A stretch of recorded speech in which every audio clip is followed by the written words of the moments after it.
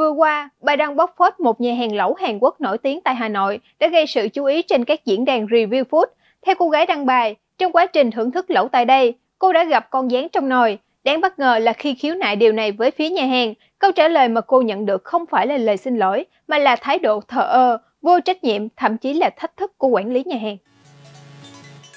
Theo đó, cô gái kể lại một lời nhân viên nhà hàng khi bị phàn nàn về việc nồi lẩu có dán.